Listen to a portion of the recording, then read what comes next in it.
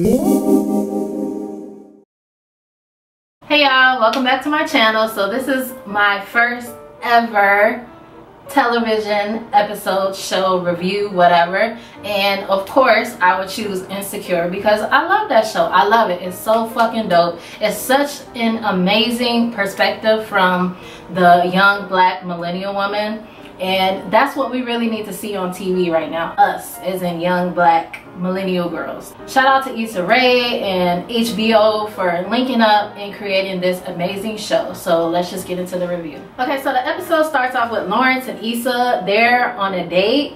Okay, my notes are right here. So like I'm here with you. I'm here with you, but I'm also here looking at my notes and shit. So that's why I keep looking over here. So Lawrence and Issa, they're on a date and Lawrence is saying, you know, I know why you did what you did and hopefully we can move past it. And I was just like, oh my God, yes. Episode one, they gonna get back together. She was daydreaming.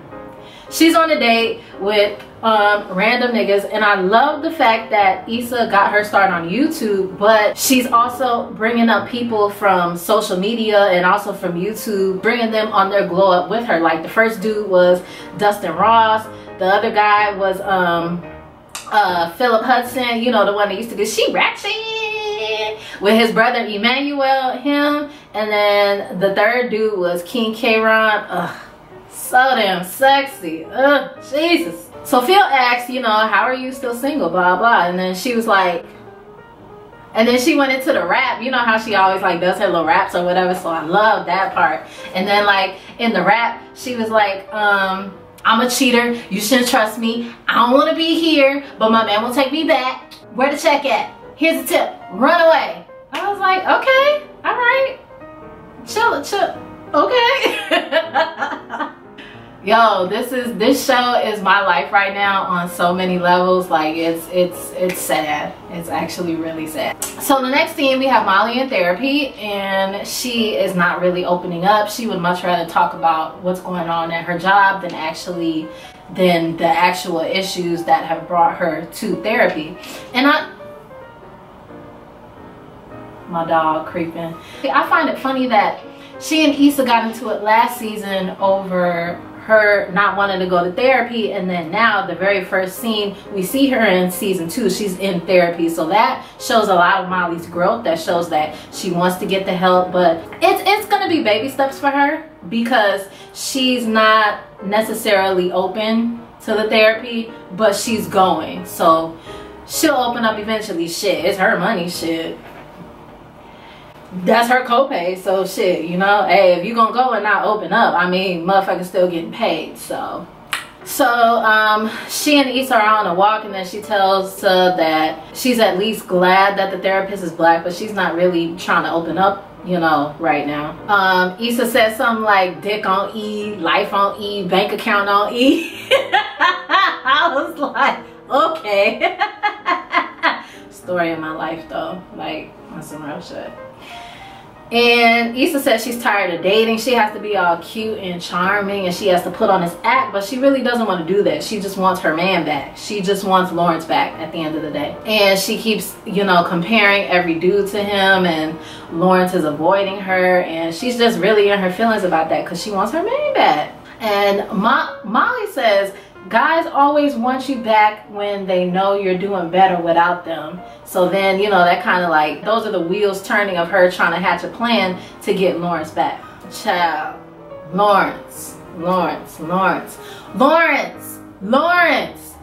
You know how we ended last season with lawrence hitting old girl from the back? Well the next time we see him in season two he is in that thing from the side and I'm like, oh my God, Lawrence, you have that death stroke. Sweetheart. No wonder Issa is in her feeling. You put that thing down, okay? That's all that's all that's all I'm gonna say about Lawrence. And you know, his death stroke. Like, what the fuck, Lawrence?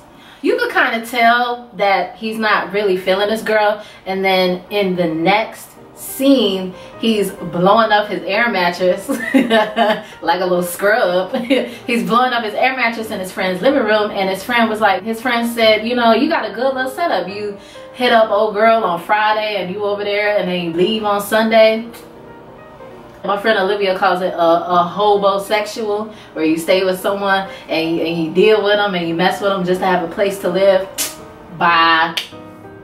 So next we have Molly and she gets some mail at work so she opens it up and she sees that um, it's a check for like 6,900 was it 6,997 so then she thinks that you know this is her getting a bonus or something like that but then she flips it over because it's it's the pay stub. She flips it over and it says um, Travis you know that's not her that's one of her co-workers.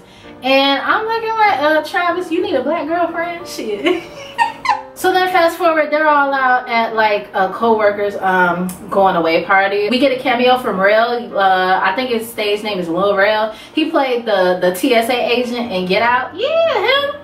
So he's there. So she's talking to the guy. I'm assuming that's Travis. I didn't catch his name or whatever, but he was a white dude and she's talking to him and he says you know it's too bad that she's transferring if she wasn't happy she she couldn't cut it so if she wasn't happy she should have just said something because a closed mouth don't get fed and then molly's like yeah right like anybody would really listen to a woman complaining and she's right because in the workplace it's it's okay for you white man to bitch and moan and complain and shit but as soon as a woman or my you know especially don't let it be a black woman child. Let a black woman complain then she's the angry black woman or she shouldn't be taken seriously or some shit. And that's fucked up but it's true. Okay so Issa is at her school.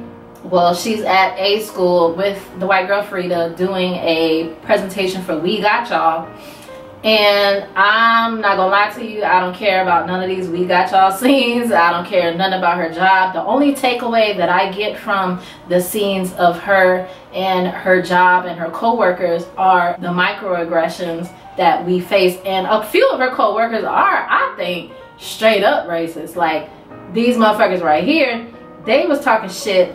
They was talking shit about the other girl saying that they thought she was uh, Latino, but apparently she's Middle Eastern or you know something. I'm not. They didn't exactly say what she was. So while they're all brainstorming, you know how they can get more kids into their program, Issa pretty much says. Um, she says it's their job to make things work when things get difficult. I took that as a foreshadowing of her and her relationship with Lawrence. Like, okay, she's probably going to try to hatch a plan to, you know, get to Lawrence because you got Molly saying that niggas only want you back when they see you doing better off without them. And now the wheels are turning in Issa saying that, you know, we have to try to make things work even if it doesn't, you know, even when things get difficult. And then the lady that she's talking to says, you know, if they don't see the progress, if they don't see progress in their program, then they're going to be moving on soon. You can do it if you put your back into it. like, bitch. Get your ass out of here. But it was funny, as soon as she said that, it trend, it played the song by Ice Cube. You Can do it if you put your back into it. I don't care what nobody say. That is the legal name of the song. You can do it if you put your back into it. Okay? That song plays as it transitioned into the next scene. So that was cute. Issa's checking her mail and she gets a jury summons but it's addressed to Lawrence since Lawrence is still getting mail at the house I guess because he doesn't have his own place yet. And so um, she gets happy about it because that gives her an excuse to see him. And then she's like, you go get this man or you go go to jail. She got a little jingle for every occasion, yo. She is a fucking nut. So then she texts him and he says he'll come by to get it. So Issa and Molly plan a wind down. So Issa's having a conversation with herself, getting ready for her wind down. And it's really cute how she goes through these montages. Like um, it goes back and forth between the three um, interweaving, you know, like little clips. Like in one clip, she's picking out different outfits another clip she's thinking about praying with him. And another one she's thinking about seducing him. And then the next one she's thinking about um, pretending how happy she is. And she even says like niggas on niggas on niggas. Like she got all these niggas that she's talking to. Like boy she ain't even think about you no more. So then um, I'm not exactly sure what a wind down is. It just looks like a kickback to me that's what we call them where I'm from they wanted everybody to bring a plus one so that all the singles can mingle. Issa's plus one is her sexy ass brother, but he's gay. You you can tell he's gay. He's cute though. Molly brings her plus one for Issa, but Issa's not really interested in him. And I feel I feel like Issa brought her brother as a plus one because she was expecting Lawrence to show up. You know what I mean? Like her her gay brother who already knows everybody there isn't her technical plus one. So since this is the day that Lawrence is supposed is supposed to be showing up to get his mail, I feel like she was gonna try to use him as her unknowing plus one. You know what I mean? So then uh, while they're all like kicking back, chilling, talking, the doorbell rings. And it's Lawrence. It is Lawrence. But then the camera cuts from Lawrence to the person on the other side of the door and it's fucking Tasha. It was such a disappointment. Such a disappointment. So he, so Lawrence was actually at Tasha's house to pick her up. They're on a date. I don't give a shit about that date. They didn't really say shit interesting. Moving on to the next scene. The scene with the date pretty much only lasted like two minutes and then it cuts back to the wind down. So then at the wind down, they got that Cardi B looking like a collar lick. Hey, so that was playing in the background. And then Issa steps outside to sulk because Lawrence texted her and said, you know, I'm not going to be able to make it. When really he was on the date with the old girl. with uh, Tasha. Molly steps outside and she's talking to Issa and then she was like, bitch, what was your plan if he actually showed up? And then Issa like, bitch, I don't know. I just want my man back. I mean, you know, whatever. You, you, you, set a trap and they either gonna take the bait or they're not, you know? This is completely my life right now. It's so fucking sad it's some young niggas outside and Kelly's like hollering at them like how niggas do us females when we just minding our business. And then she invites them to the party and they come through. And um, Tiffany is like do you have some herb? We would like to partake in the smoking of the herb.